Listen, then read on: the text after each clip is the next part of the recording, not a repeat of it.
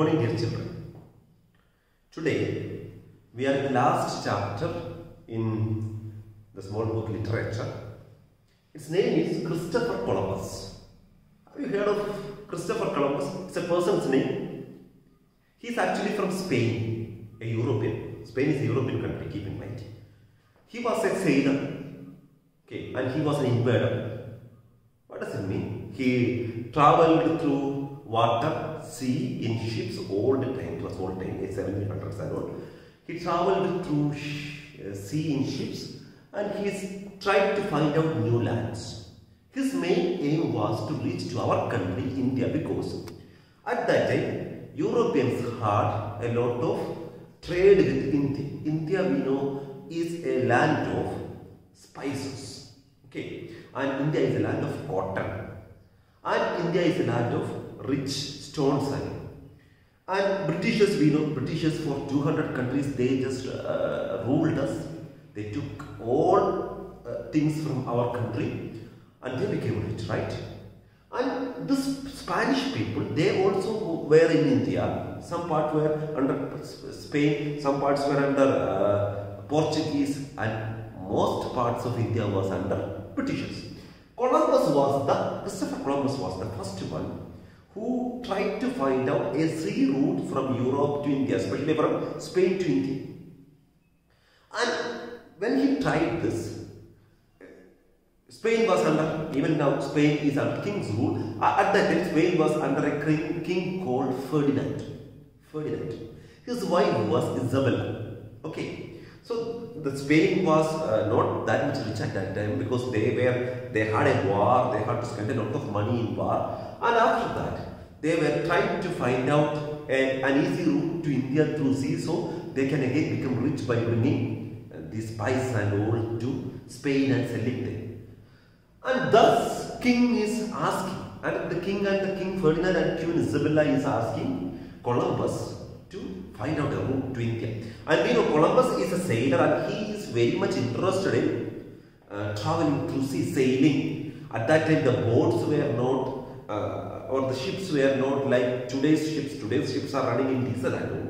At that time, they were running using a, you would see, a, a, large uh, stick or a, a large that's actually called a mast. A large post is there in the middle and some cloth made things. They are called sails actually are helping the ships to move. You would seen we call it couple okay? It took so many months for them to travel from one place to another because they were traveling using wind anyway columbus was ready to come to india he is there having three other friends. We, we, we will see everything in the chapter. And they are starting a journey. For so many days, they, they traveled. Every others in the ship were against Columbus. They wanted to go back because they couldn't find India or any land. They thought at that time everybody believed that earth is flat. And as it is flat, one day we will reach the edge and fall down and die. That was what, they were believing. After that, only Magellan find out, found, found out that earth is round. So they were, they were again, they were just angry towards Columbus because Columbus was not ready, ready to come back. At last, they reached a land. It was not India, it was America. Okay, they reached actually in America. And America also, we know, it's a, it's a land of gold and all. And they had a lot of trade with America. They just uh, took America under their possession, under their control. And uh, after Columbus, so many, uh, he went back with his people and so many other came to uh, America and took America under their control. And today we will see the, the journey of, the first journey of Columbus to find out India. I already told you, he didn't reach to India and he reached to America. That small incident, only a small part of that drama is given here. It's a big drama. And today anyway, we will see that drama. So let us see the drama and uh, just enjoy the drama. There won't be a conclusion for this chapter because I have told you everything. So uh, this is how the drama goes on. They are just traveling for so many days. They are really tired. Only Columbus is not tired. Every others are tired. Anyway, at last they reached a land. That land is known India. They reached to America. Okay. See the chapter and enjoy the chapter. Okay. The characters of this drama are Christopher Columbus, uh, Isabella, the Queen of Spain, Then before that, uh, the king of Spain is there. His name is uh, Ferdinand. Then uh, chief of the native people. That means mm, when they reach to America, there is a chief. Okay, for of the that the people living in America. Then a cabin boy who is to help in, uh, in the ship. There is a medicine man. Then uh, Bianca, Enrico, and Alfonso. They are shipmates of Columbus. Okay, those who are they are sailors who are with Columbus. Then, uh, as the chief of the native people is there uh, with him, there are two other native men. Okay, these are the people uh, in this or the uh, actors in this drama.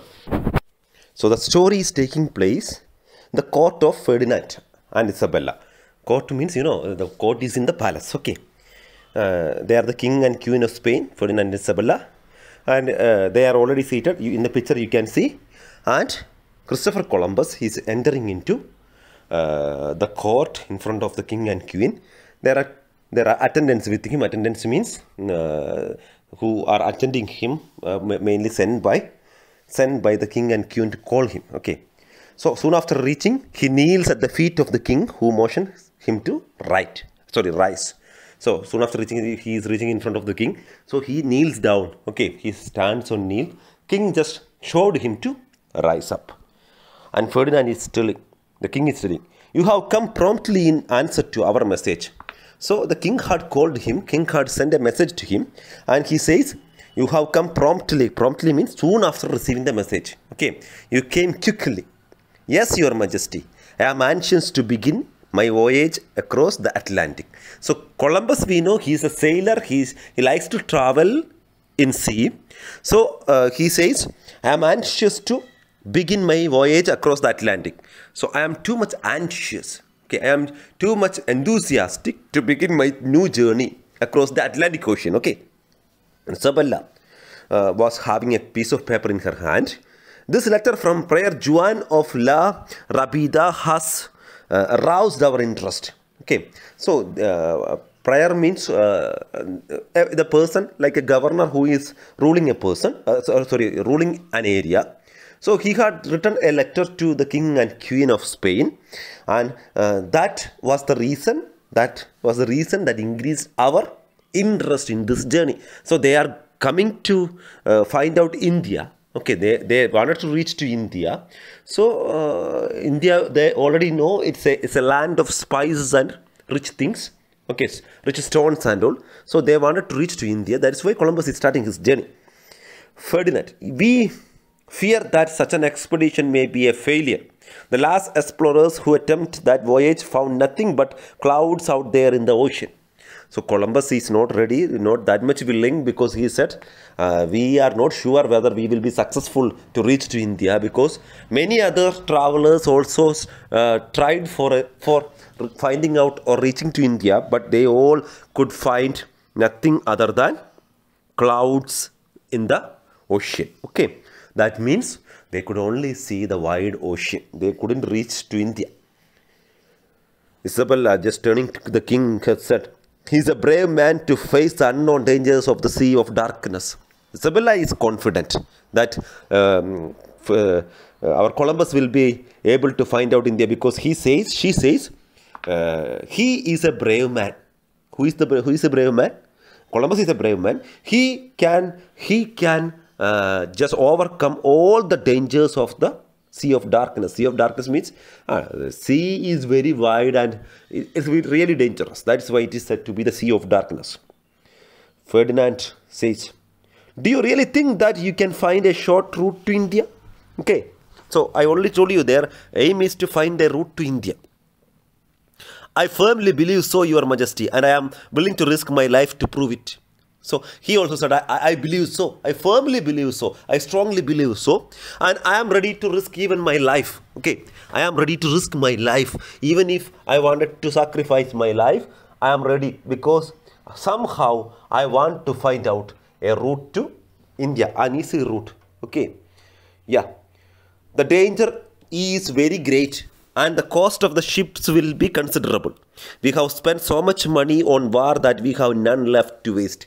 So just before this journey, Spain had, had a war So we know in a war they had to spend a lot of money, and the king says uh, the cost of this trip is too much. The ships are very costly, and our country is not that much rich now.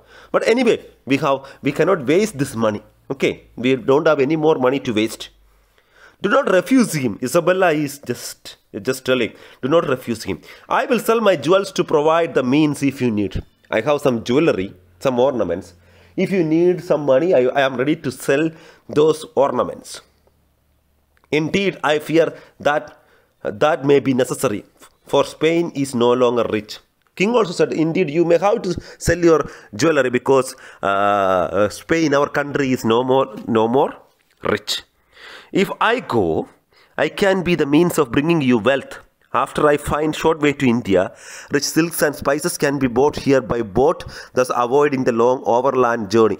Okay, see, and at that time they were traveling through uh, through land. They were carrying the things on uh, the, these kind of horses and all. So what he told is, if I find a short route to India, I can bring everything fastly to our country from India okay. So we can we, we can bring everything fast. So there won't be much cost for that. So we will we will earn a lot of money. What you say is true. Ships move much more quickly than the caravans of the desert. Okay. That is what, the, uh, isabella the queen also just admitted what he said. She also admitted what you say is right because ships can move very fastly.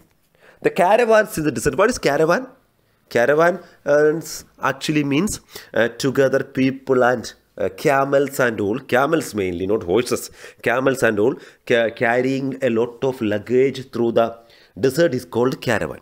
Okay so it can reach fast. My queen do as you will but i have very little faith in the plan. King is not that much happy in this plan. But anyway he is uh, admitting what the queen said. My dear queen do what you what as your as you will. As you will means as your ambition as what you think. Do what you think. But i don't i don't like this idea. I don't have much faith in this idea. Isabella is turning to how many ships do you need? She asked to columbus. How many ships? Three will suffice your majesty. Suffice means sufficient. Three are enough. Okay. You may plan to make the voyage. I will be responsible for the necessary money. Anyway you plan to make the uh, journey, I will bring you, I will make you enough money. I thank your majesties. When do you wish to start? Ferdinand asked. Okay, when, when will you start your journey? As soon as possible. Then choose your men and be ready to leave Palos at an early date. Palos is a place in Germ- uh, sorry Spain, uh, a port in Spain from where they are starting their journey. So the king just asked him, you just find out other men whom you should carry with you, you should take with you. Uh, then uh, start as soon as possible from Palos. I will lose no time. When I return, a trip to India will be as easy as will be an easy journey. Okay, he just told, I won't waste any time. When I come back, a trip to India will be a safe and fast journey. Okay. Good luck to you, brave friend. I thank your majesty. So he bows and goes out. Uh, the other people follows him. The king and queen leading the line of the courtiers and ladies. They also went out. Okay. So the first scene is over. It was in the palace of the king Ferdinand and the queen Isabella. The second scene is in the sea. They had started their journey. We cannot see everything. So they are in the ship. They are traveling. So the, the cabin of a ship at sea. The second scene is in, in a room in a ship. The ship is in the sea. So they had started so many days, so many months they have passed. Now, so many days they have passed. Enrico is one in the ship with Columbus. He had three other men we already saw in the beginning. With his elbow on the table and his head in his hands. He is really unhappy. He is really distraught. And he Enrico says, We shall never see land again. I wish we had never come. I know the earth is flat. Some dark night we might fall off the edge. So at that time, all the people believed that the earth is flat. Okay. So uh, he says we should not have come. We will not see even Spain again. So they, he says that we have lost our way. So we will, uh, as the earth is flat, from the edge of the earth we will fall down. That is what he told. As the earth is flat, from the edge of the earth, we will fall down and we will die. Okay, that was their belief. Okay. Bianca is another one in the ship. To continue this voyage is madness. The captain ought to be forced to turn the ship about and return. See, this is really madness. It's really mad to continue this journey. We should we should uh, force our captain. We should compel our captain to turn the ship and return back or turn back. Alfonso is another one. Enrico, let us urge him to go home. if he refuses, we will throw him overboard. And uh, the another one, Alfonso just said, Enrico, we will uh, just force the captain to go home. We will urge him. Urge him means compel him. If he doesn't accept what you say, doesn't admit what we say, what we say, we will throw him to the sea and we will go back. So they are all angry because for so many days they had been traveling, they could not find India or any other land.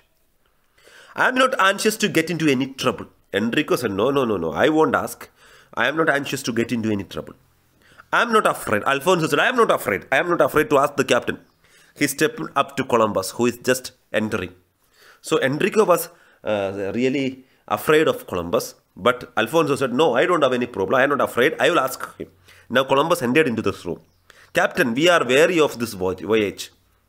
We demand that you turn the ship about and take us home. So he told the captain Columbus that we are wary, we are afraid of this journey, this voyage. So we just uh, request you to turn the ship and take us back home. Impossible, said Columbus. No, this is not possible. Alfonso was shaking his fat, uh, fist. If you refuse, refuse, we will compel you. He was angry. He was just shaking his fist. കൈയൊക്കെ ചുരുട്ടിയിട്ടാണ് Okay. We are, we are just, uh, what did he say?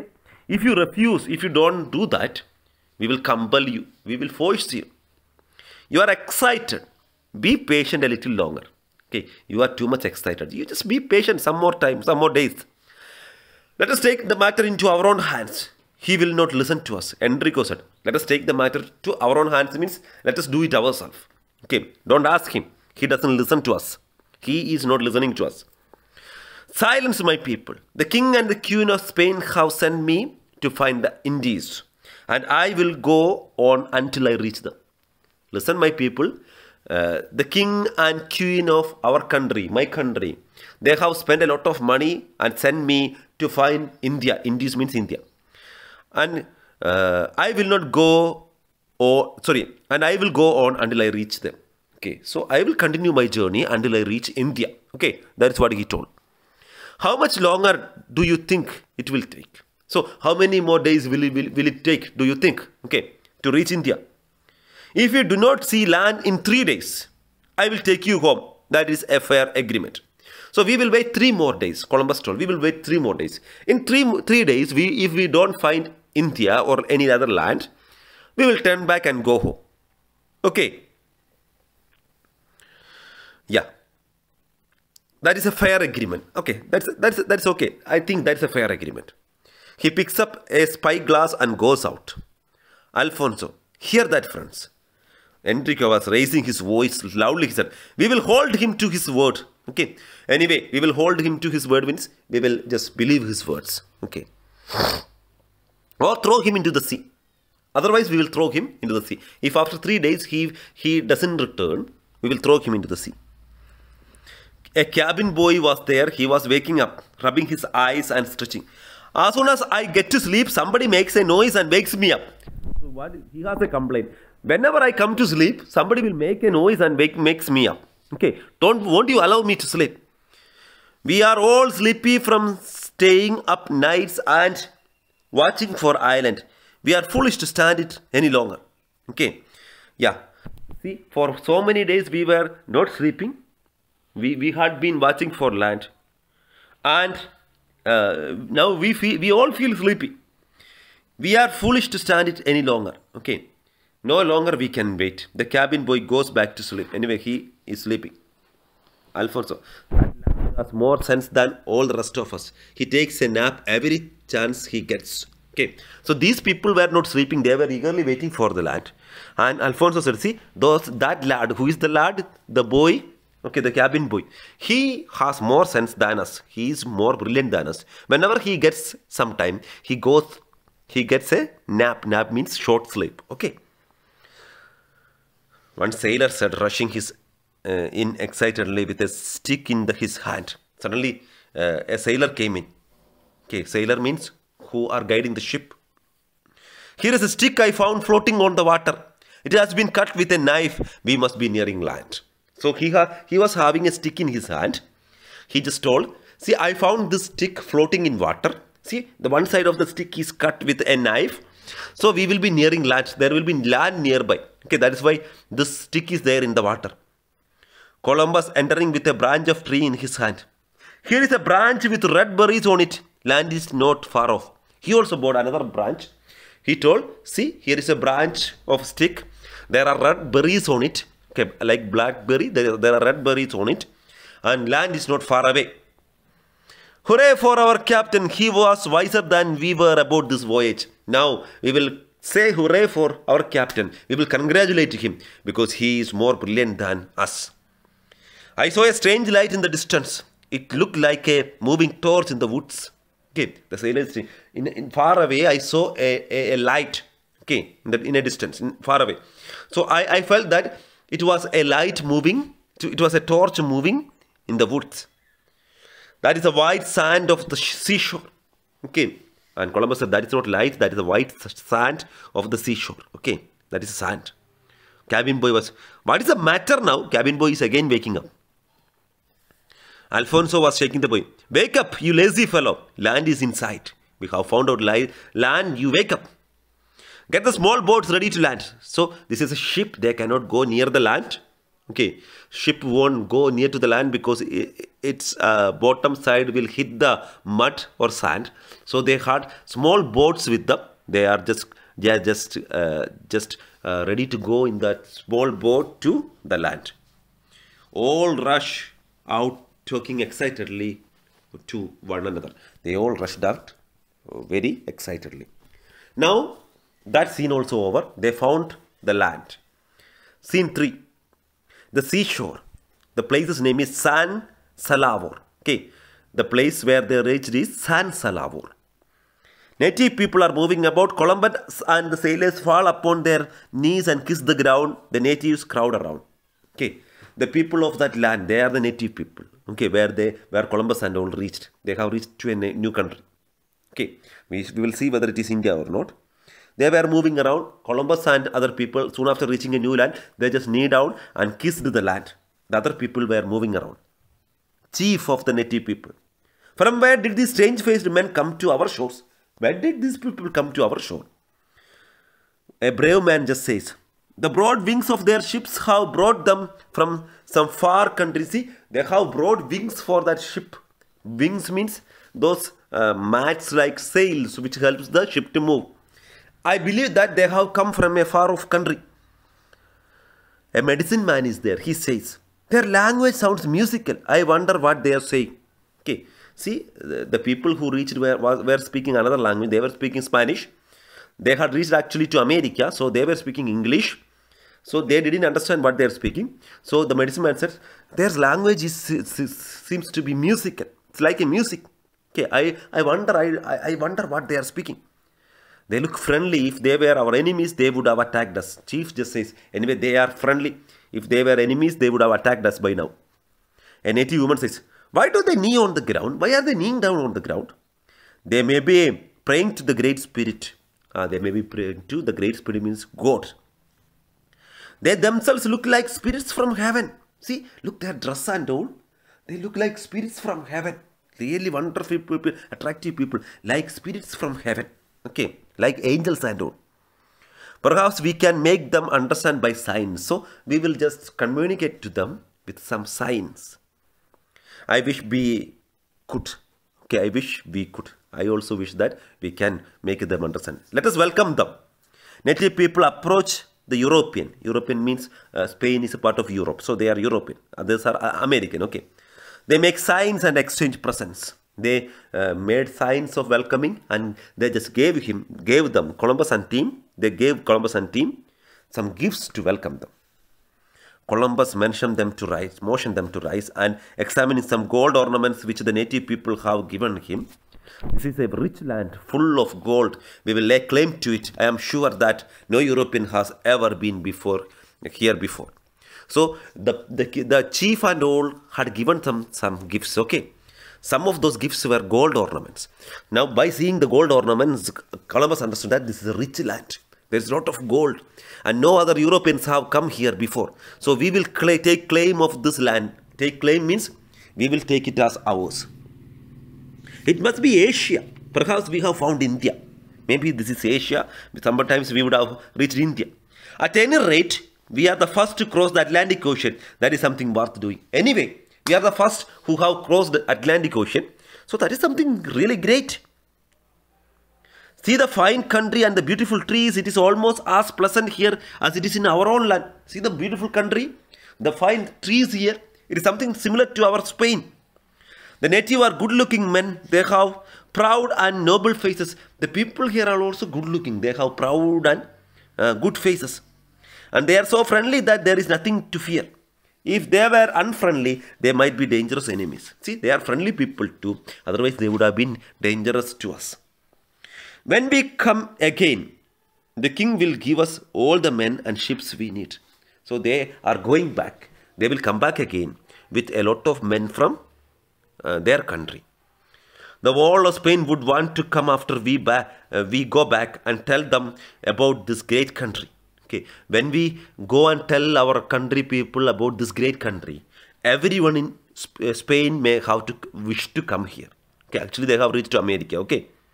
Now we will claim this new land and then explore the country. Now first we will claim. Claim means take it as ours, bring it under our control, and then we will explore it. Explore means explore means ah, we will find out what all things are there. Okay, Unfurling the flag of unfurling the flag of Spain and planting the stuff in the ground. They took the flag and just planted it. Stuff means the stick. Okay, it was tied on a stick.